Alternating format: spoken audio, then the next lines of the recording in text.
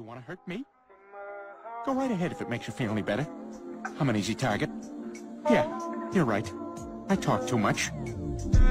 I also listen too much. I can be a cold-hearted... Stupid